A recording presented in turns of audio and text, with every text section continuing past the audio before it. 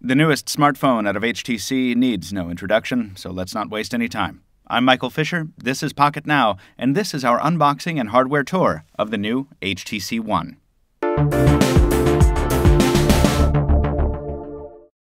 This device isn't just important to HTC, it's crucial to its survival. As the vanguard of a new design language with new construction materials and an entirely new Android skin, the One sets the tone for all HTC devices launching this year. And judging from the packaging, it's obvious that HTC knows exactly how important this device is. The rounded corners catch the eye nicely, and the plastic film helps convey the impression that what's inside is valuable. And that's backed up by the spec sheet, printed right on the outside for us to gawk at. Highlights include a Qualcomm Snapdragon 600 processor at 1.7 GHz, and that's quad core, 32 gigs of storage with 2 gigs of DDR2 RAM, a 4.7 inch Full HD 1080p display at 468 ppi, special HTC value adds like BoomSound, built in amplifiers in the speakers, Beats audio, and an UltraPixel camera with Zoe functionality as well as some clever pixel manipulation tricks, and the usual Wi Fi, Bluetooth 4.0, GPS, etc. And finally, this box is 98% recyclable, proving that you don't need to throw a phone in a cafeteria lunch carton to be green. That's nice. Now that that's out of the way, let's open this sucker up.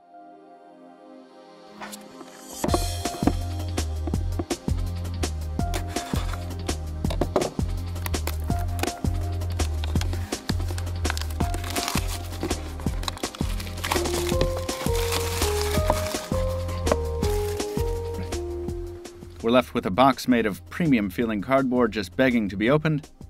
And here we go.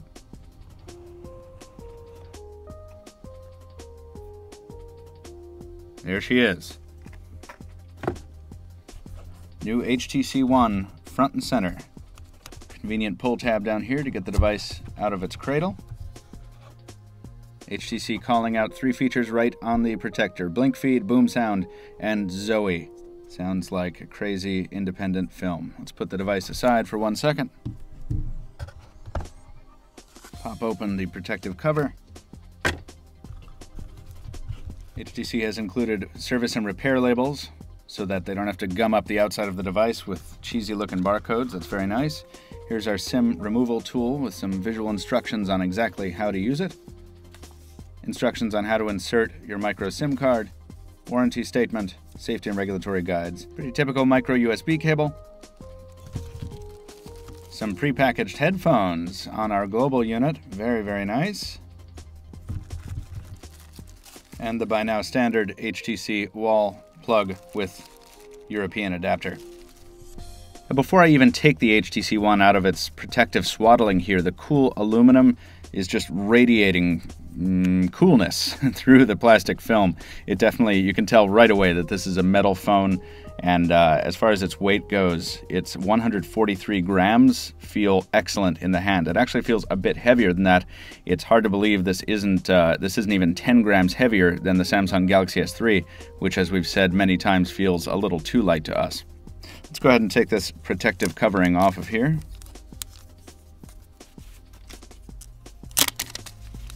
Protective covering also covered in instructions for uh, SIM removal, just in case you missed it on the first go around.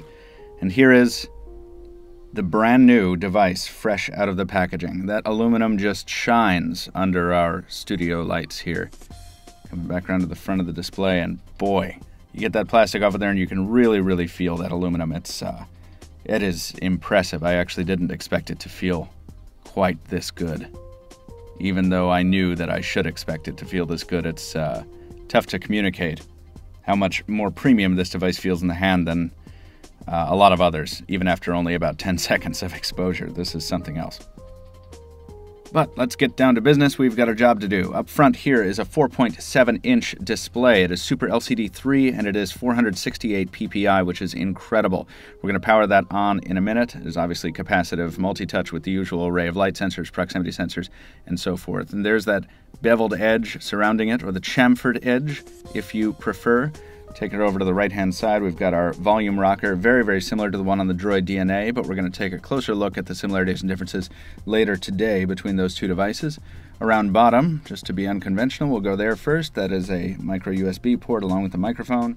And on the back of the device, we've got that backside illuminated 4 megapixel sensor with uh, what HTC is calling their UltraPixel technology and a, a bevy of features that we're not going to get into right at the moment, but as you can see, quite a large lens there, along with a uh, LED flash, the HTC branding in the center, Beats audio called out down below, and the additional noise canceling microphone for what HTC is calling Sense Voice. Power standby button up top uh, next to the headphone jack, 3.5mm, of course.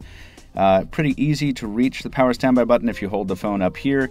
If you are holding it down here, that's going to be a little bit of a stretch for you, but we'll talk about that. Coming back around to the front of the device, you've got the HTC branding there, along with the home button and the back key right where it should be on the left, along with one of the two front-firing speakers that provide that HTC BoomSound audio, which we will talk about and which we are really looking forward to getting our ears on because front-firing speakers make a whole lot of sense to us. The camera up top is a 2.1 megapixel unit with a wide angle lens, with room enough for you and three of your friends to get in the shot, or at least two of them.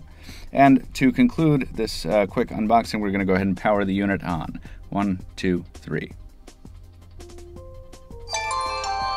Woo! Getting a taste of that BoomSound already. That was a very, very loud greeting from the device. Definitely lets you know when it is awake. And there it is, the new version of the lock screen shipping on the new version of HTC Sense, Sense 5. I'll just go ahead and unlock it here so you can see the home screen. And here's our welcome screen, encouraging us to set this up with our own preferred language, which we will do right now. And as HTC prompts us to set up our brand new device, we will do so, but we're going to do it off camera. Don't worry though, we'll be back very soon.